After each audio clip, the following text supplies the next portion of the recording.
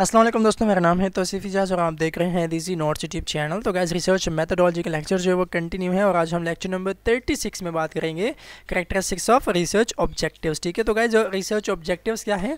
तो यहाँ पे कुछ स्टेप्स जब हम लेते हैं रिसर्च क्वेश्चंस को सोल्व करने के लिए रिसर्च क्वेश्चन को डिफरेंट तरीके से सोल्व करने के लिए जो जितने स्टेप्स हम लेते हैं तो उसको हम ऑब्जेक्टिव्स कहते हैं। अब यहाँ पे गाइस कैरेक्टरिस्टिक्स पढ़ते हैं कि स्पेसिफिक होने चाहिए अचीवेबल होने चाहिए मयरेबल और रियलिस्टिक होने चाहिए आपके ऑब्जेक्टिव्स ठीक है? आपके ऑब्जेक्टिव्स जो हैं वो हम हमारे पास जो रिसर्च क्वेश्चन होते हैं, उसके लिए लिखते हैं, ठीक है? तो अब स्पेसिफिक का क्या मतलब है? Clear about what where when in how the situation will be change ठीक है? तो ये सारे क्वेश्चंस के आंसर में हमें जो है ऑब्जेक्टिव्स में लिखने चाहिए कि अगर सिचुएशन चेंज होता है, कब होगा, क्यों होगा, ठीक है? तो ये क्वेश्चंस के आंसर में होने चाहिए हमारे ऑब्जेक्टिव्स में, ठीक है? अब अचीवेबल होने चाहिए। Able to attain the objective knowing the resources and capacities at the disposal ठीक है? तो हमें, हमारे पास मतलब जितने भी जो रिसर्च क्वेश्चन है तो उसके लिए जो ऑब्जेक्टिव्स हम लिखते हैं तो वो क्या होने चाहिए? अचीवेबल होने चाहिए, ठीक है?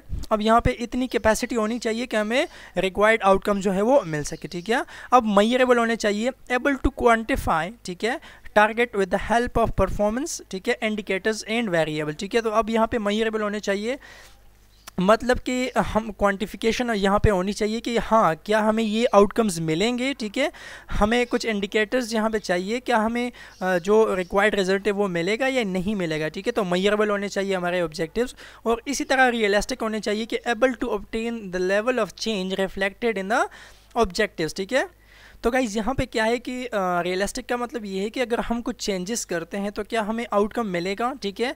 क्या ये रियलिस्टिक है या नहीं है? फिजिबल है या नहीं है? ठीक है? तो गाइज़ आज के लिए बस इतना ही। मिलते हैं नई वीडियो के साथ। प्लीज़ वीडियो को लाइक कीजिए और चैनल को सब्सक्राइब कीजिए। खुदा हाफिज़।